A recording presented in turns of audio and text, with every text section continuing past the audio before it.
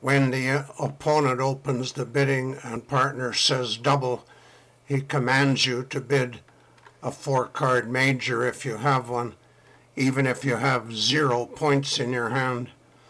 However, if your right hand opponent bids after the double, then you're off the hook and you don't have to bid with zero points. If you make the lowest bid possible, you are showing zero to eight points. I'm going to brainwash you.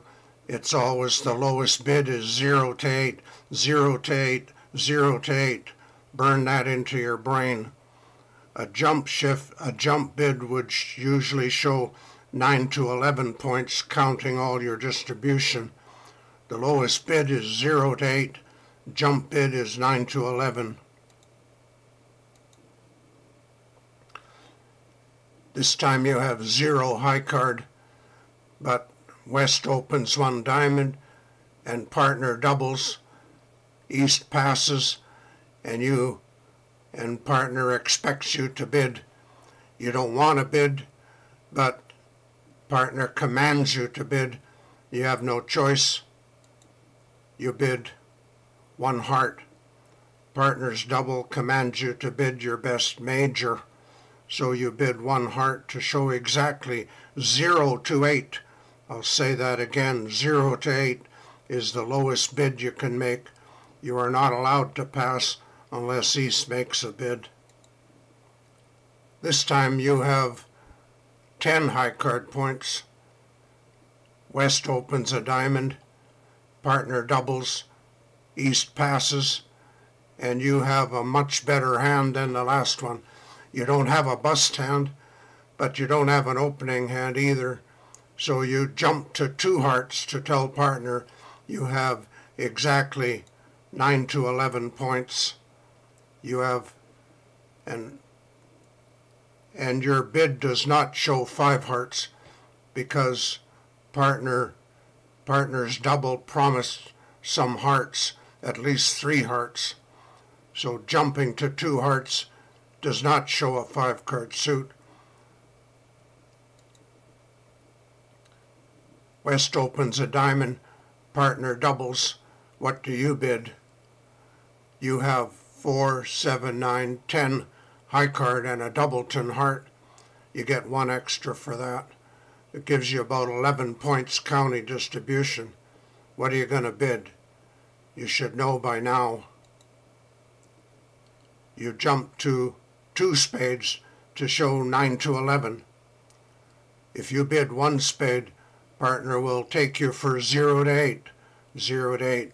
But you have a much better hand, but jumping to two spades does not show an opening hand and does not show five spades.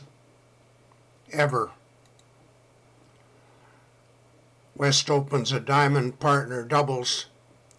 Um, it's quite rare that you would have six good diamonds. Um, what are you going to bid? Are you going to bid two diamonds? Are you going to bid one spade?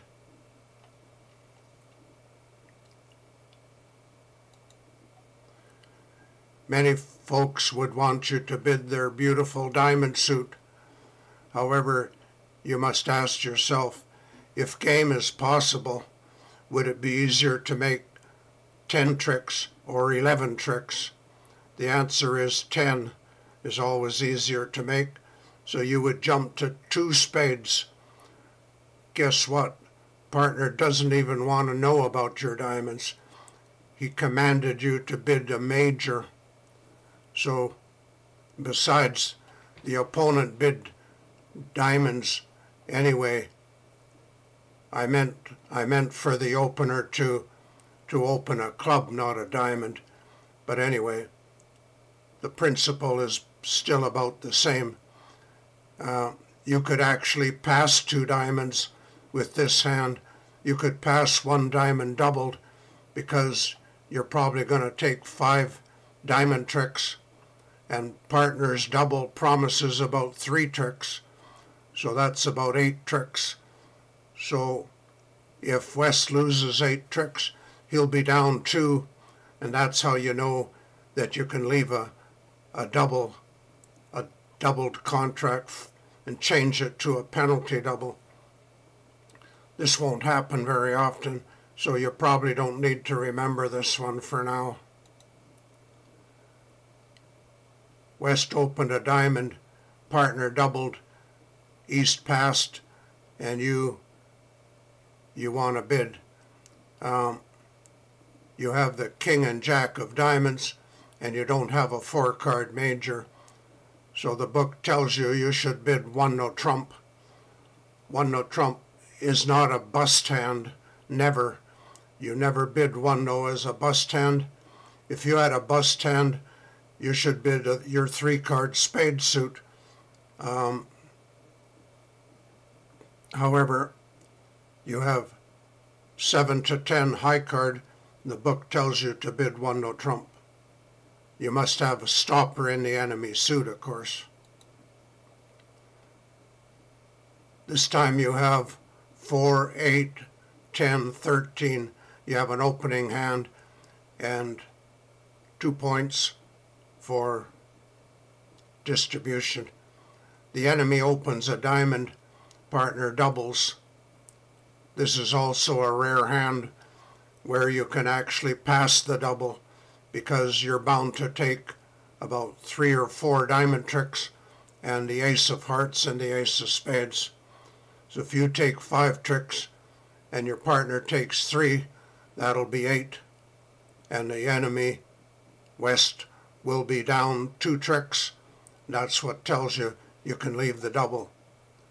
This is another hand you won't see very often, so if you don't remember it, don't worry about it. West opens a diamond. Yeah. I've already said you could pass the one diamond doubled because you have five high diamonds and two other aces. You can expect West to be down two or three and give you a score of 300 or 500, depending on the vulnerability. West opens a club, partner doubles, East passes. This time you have a full opening hand, 4, 7, 11, 12, 14. Um,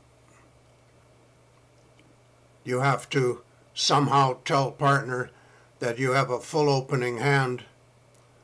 But if you jump to four hearts, you might find out that your partner has four spades and only two hearts uh, or three hearts. So spades would have been the better suit. So just to keep all your options open, you actually would bid the enemy suit. So you would bid over partners double. You would bid two clubs the enemy suit.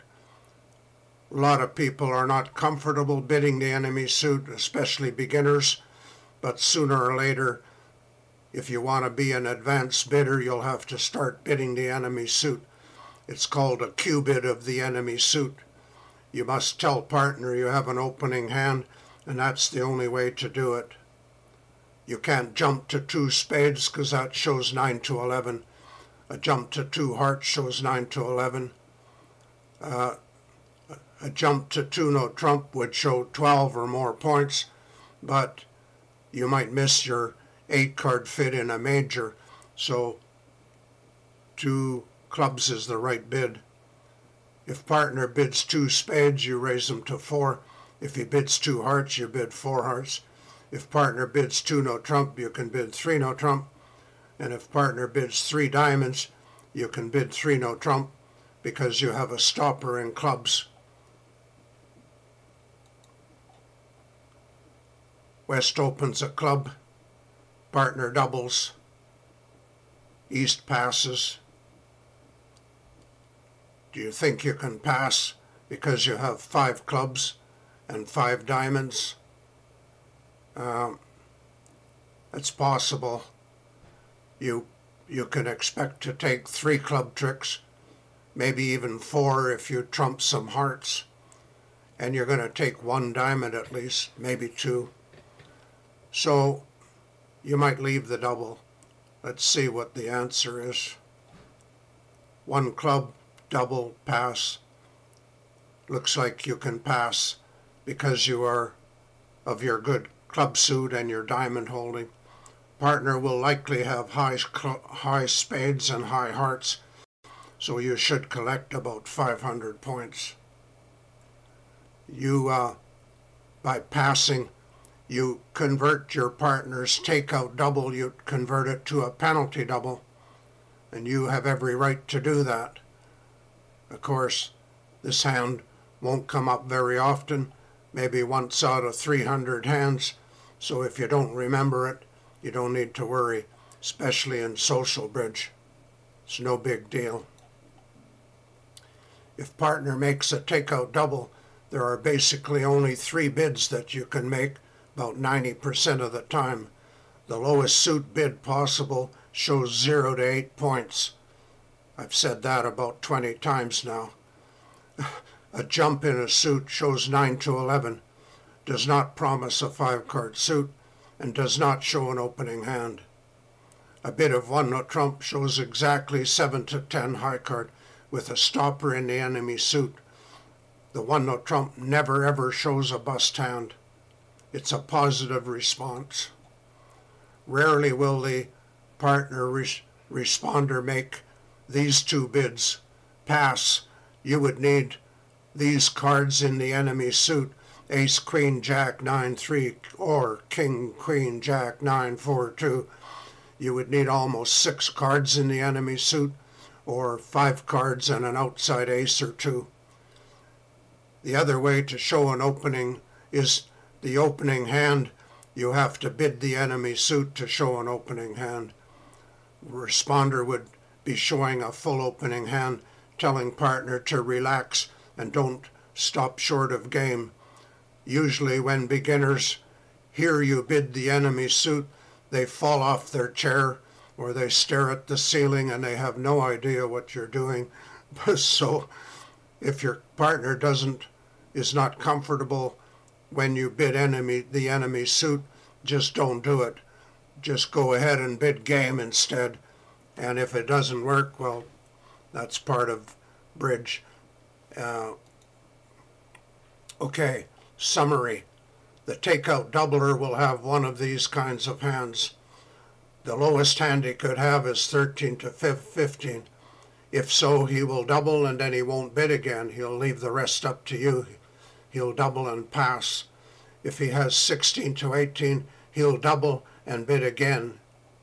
Even if he doubles and bids one of some, some suit, he's still showing 16 to 18 points. A partner could have a maximum hand. He'll double and then jump the bid. With 19 to 21 and a stopper in the enemy suit, he'll double and then bid no trump, one no trump or two no trump that will tell you he was too strong to overcall one no trump. So if your partner doubles and bids no trump, he's not showing just 16, 15 to 18, he's showing 19 to 21.